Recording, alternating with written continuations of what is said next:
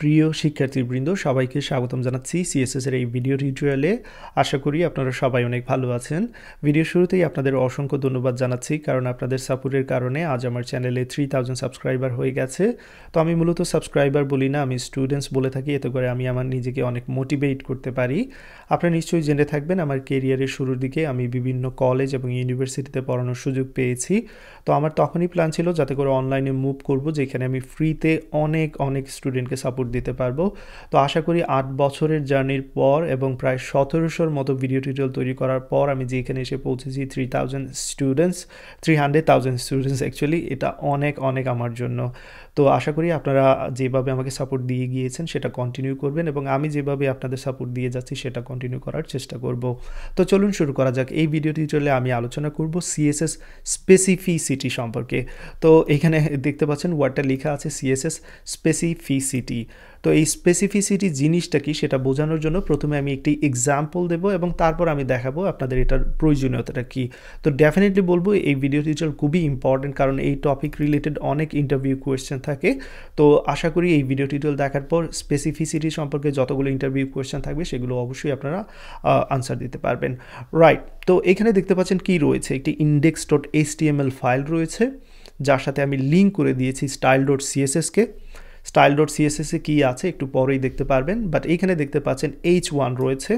আমি একটু বড় করে এখানে আপনাদের দেখাচ্ছি, এতে করে আপনাদের হয়তো বুঝতে সুবিধা হবে। দেখতে পাচ্ছেন, এখানে একটি এইচ ওয়ান ট্যাগ রয়েছে, তার জন্য একটি ক্লাস দিয়েছি টাইটেল একটি আইডি দিয়েছি হেডিং এবং তারপর মধ্যে কিছু টেক্সট আছে, যেটা এখানে আউটপুট আকারে দেখাচ্ছে।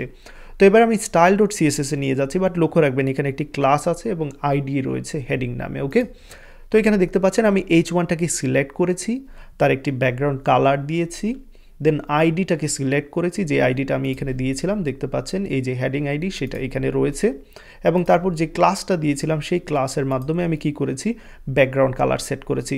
তো এখানে তিনটি প্রপার্টি যেগুলো সিলেক্টর ব্যবহার করেছি, সবার ক্ষেত্রেই আমি ব্যাকগ্রাউন্ড কালার ব্যবহার করেছি। এবার আমার কোয়েশ্চেন হলো আপনাদের কাছে আমি যদি এটা সেভ করি এখনও কিন্তু সেভ করিনি, আমি যদি এটা সেভ করি, তাহলে এখানে কোন ব্যাকগ্রাউন্ড কালারটা বসবে? এইচ ওয়ানের জন্য।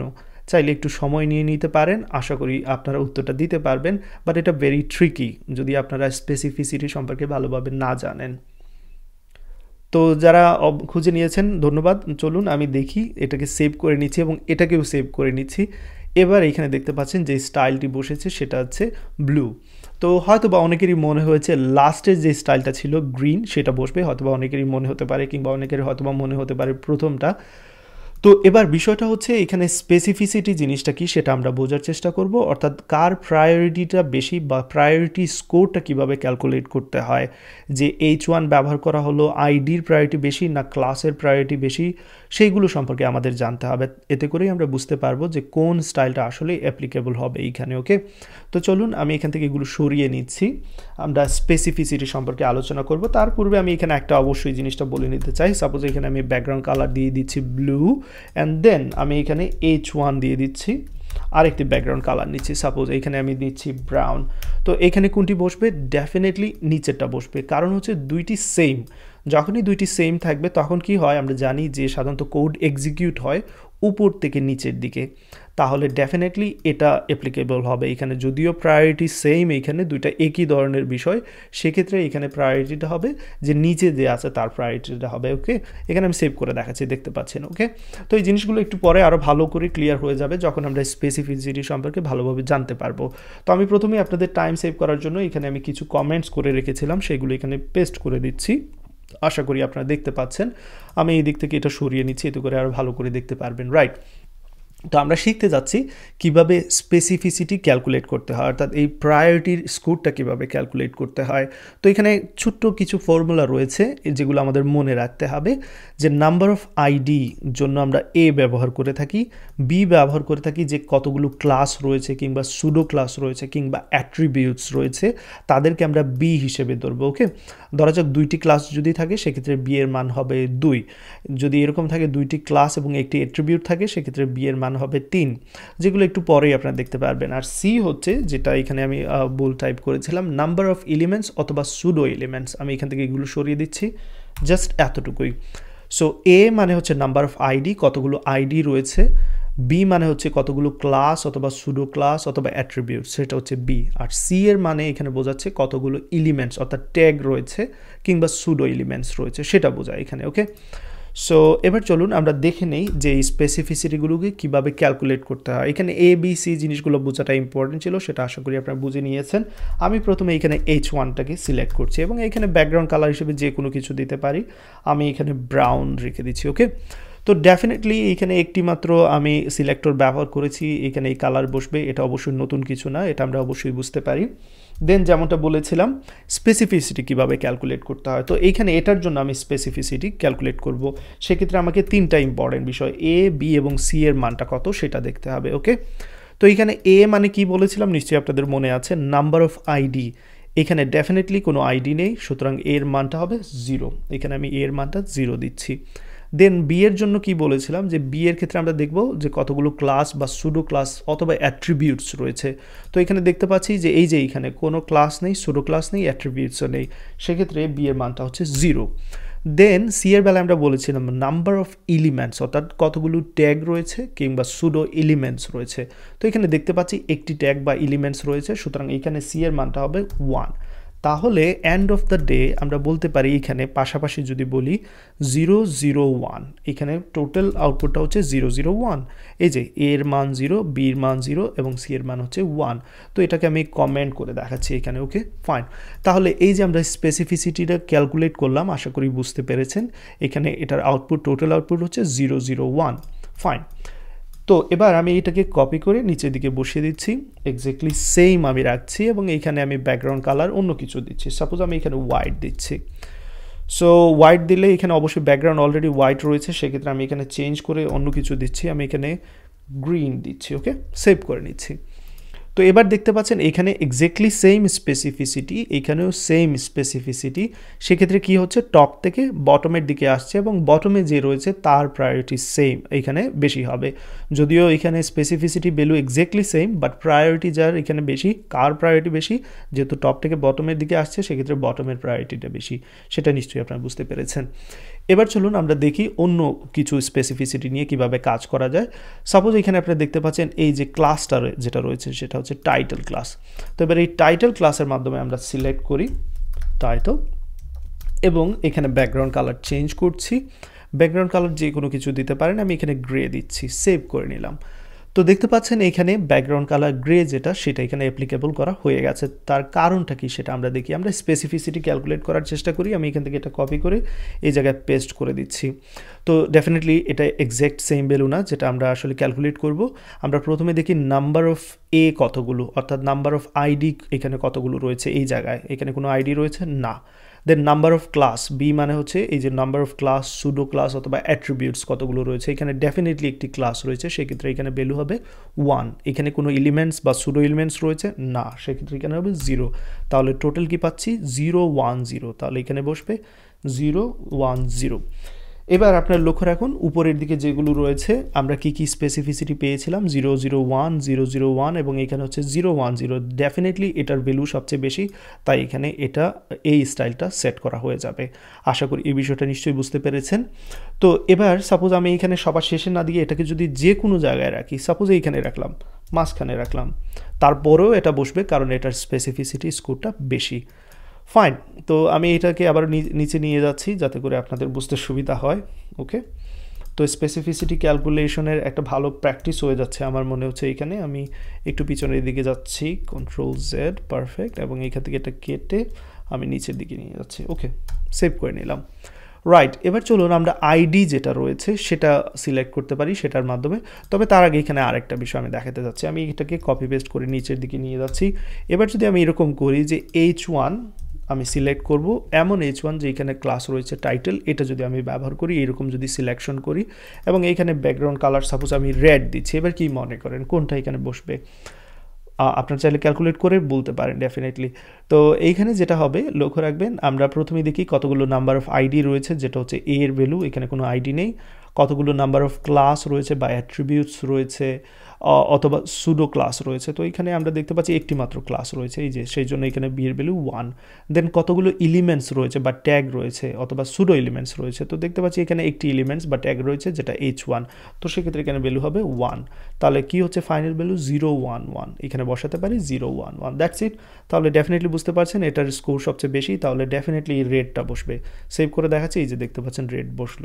তো এটা যে কোনো জায়গায় ব্যবহার করি, এটা যদি সবার উপরে নিয়ে যাই ডাজেন্ট ম্যাটার এই যে আমি এখানে নিয়ে আসলাম।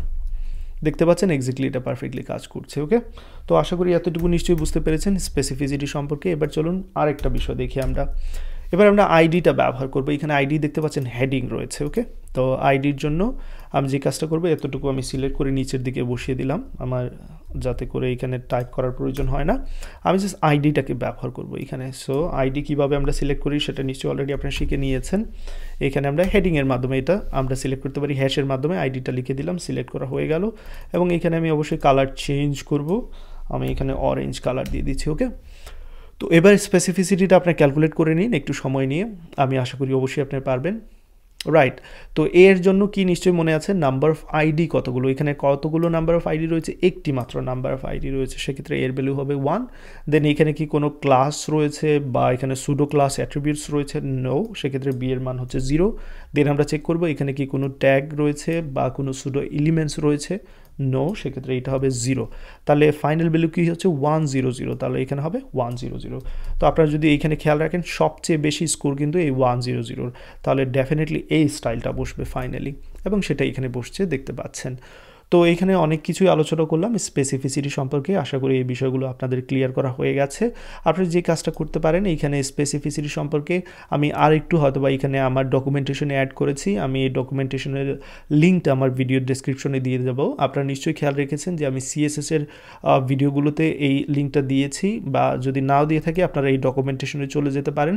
যেখানে আমি সিএসএস সম্পর্কে যতটুকু সম্ভব আমি এখানে লিখে রাখার চেষ্টা করেছি, যেটা আপনাদের রিভাইজ দিতে সাহায্য করবে। তো এখানে আমি যেটা এই যে সিএস ডকুমেন্টেশনে চলে আসলে আপনারা একটু নিচের দিকে আসবেন ডেফিনেটলি এখানে সিলেক্টরের যেটা রয়েছে, এই যে সিলেক্টর দেখতে পাচ্ছেন দেন এই যে সিএসএস স্পেসিফিসিটি রয়েছে। এবং এইখানে দেখতে পাচ্ছেন ইউনিভার্সাল সিলেক্টর যেটা আমরা অ্যাস্ট্রিক ব্যবহার করে থাকি, তার স্পেসিফিসিটি স্কোর হচ্ছে জিরো আইডির জন্য, তো আইডি তো অনেক পরে আসবে দেন দেখতে পাচ্ছেন এলিমেন্ট এবং সুডো এলিমেন্ট অর্থাৎ ট্যাগগুলো এবং এলিমেন্টসের জন্য ভ্যালু হচ্ছে ওয়ান তো প্রায়োরিটি স্কোর যদি বলে থাকি দেন নাম্বার অফ ক্লাস বা অ্যাট্রিবিউটস অথবা সুডো ক্লাসের জন্য ভ্যালু হচ্ছে টেন এবং আইডির জন্য ভ্যালু হচ্ছে হান্ড্রেড তো এই যে হান্ড্রেড টেন এগুলো কীভাবে হচ্ছে? এই যে এখানে লক্ষ্য রাখবেন, যখন আপনার বলেছিলাম যে এখানে কতগুলো আইডি রয়েছে, এক দিয়েছিলাম দেন তো এই এক যদি এখানে থাকে, অন্যদিকে যদি জিরো জিরো আমরা ধরি, তো একক, দশক, শতক ডেফিনেটলি এখানে এর ভ্যালু হচ্ছে একশো, সেই জন্য এখানে দেখতে পাচ্ছেন একশো। দেন ইনলাইন সিএসএস যেটা এখনও ব্যবহার করিনি, তার ভ্যালু হচ্ছে ওয়ান থাউজেন্ড সো আইডির ভ্যালু যদি একশো হয় ইনলাইন ভ্যালু সিএসএস এর ভ্যালু যদি এক হাজার হয়, সেক্ষেত্রে ডেফিনেটলি ইনলাইন সিএসএস বেশি প্রায়োরিটি পাবে। তো সেটা আমি আপনাদের এখানে দেখিয়ে দিচ্ছি। চলুন, এখানে এইচ ওয়ানে আমি একটা ইনলাইন সিএসএস ব্যবহার করি। স্টাইল ট্যাগটা নিয়ে নিলাম দেন ব্যাকগ্রাউন্ড কালার নিচ্ছি। যে কোনো কালার দিতে পারি, আমি এখানে কালার হিসেবে এইটা দিয়ে দিচ্ছি অ্যাকোয়া ওকে এবার আমি সেভ করছি এবং দেখতে পাচ্ছেন এবার কোন কালারটা ব্যাকগ্রাউন্ড কালারটা সিলেক্ট করা হয়েছে? এই যে ইনলাইন সিএসএস যেটা ব্যবহার করেছি। তো এখানে আইডি যেটা দিয়েছি, তারও বেশি প্রায়োরিটি কার? এই ইনলাইন সিএসএস এর। কারণ ইনলাইন সিএসএস প্রায়োরিটি স্কোর এই যে দেখতে পাচ্ছেন এখানে ওয়ান থাউজেন্ড এবং তার চেয়েও বেশি প্রায়োরিটি স্কোর যার রয়েছে সেটা হচ্ছে ইম্পর্টেন্ট তো সেই ইম্পর্টেন্টের ব্যবহারটা আমি এবার দেখাচ্ছি, আমি এইদিকে চলে আসলাম।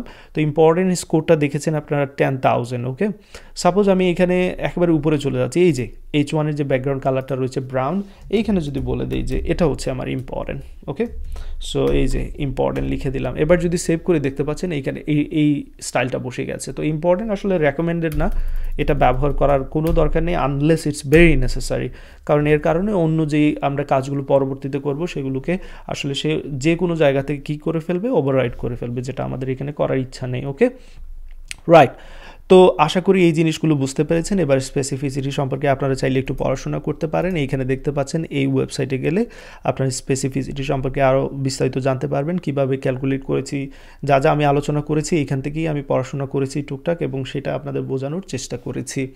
দেন এখানে আরেকটা মজার বিষয় আছে, এই যে দেখতে পাচ্ছেন এই ওয়েবসাইটে গেলে স্পেসিফিসিটি ডট কি জ্যান অ্যান্ড ডট এস টি সম্ভবত। যাই হোক এইখানে আপনার গেলে আপনারা এই স্পেসিফিসিটি ক্যালকুলেটরটা খুঁজে পাবেন এবং এইখানে দেখতে পাচ্ছেন এই যে কীভাবে তারা স্পেসিফিসিটি ক্যালকুলেট করছে, আপনি চাইলে এখানে চেঞ্জ করে আপনি নিজের মতো বসাতে পারেন। সাপোজ আমি এখানে দিচ্ছি এইচ ওয়ান এই যে এইচ ওয়ান দিলাম, তাহলে এখানে কতগুলো এলিমেন্টস একটি মাত্র elements so zero zero one হচ্ছে এটার ভ্যালু ওকে আমি যদি এরকম দিই হেডিং এবং দেখতে পাচ্ছেন যেহেতু এটা ক্লাস সেক্ষেত্রে এই যে ক্লাসের ভ্যালু ওয়ান হচ্ছে একটি মাত্র ক্লাস আমি যদি এরকম দিই, আরেকটি ক্লাস দিই ওকে হেডিং টু, তাহলে দেখতে পাচ্ছেন দুইটি ক্লাস হয়েছে, সেক্ষেত্রে ভ্যালু হচ্ছে জিরো টু জিরো এখানে দেখতে পাচ্ছেন ওকে দেন এরপরে যদি আমি এরকম করি, তার আগে যদি আমি এখানে একটি পি দিয়ে দিচ্ছি, তাহলে কতগুলো এলিমেন্টস রয়েছে? একটি এলিমেন্টস রয়েছে, তাহলে ওভারঅল ভ্যালু হচ্ছে জিরো টু ওয়ান তো এরকম চাইলে আপনারা ক্যালকুলেট করে নিতে পারেন। আশা করি অবশ্যই এই বিষয়টা আপনারা বুঝতে পারবেন।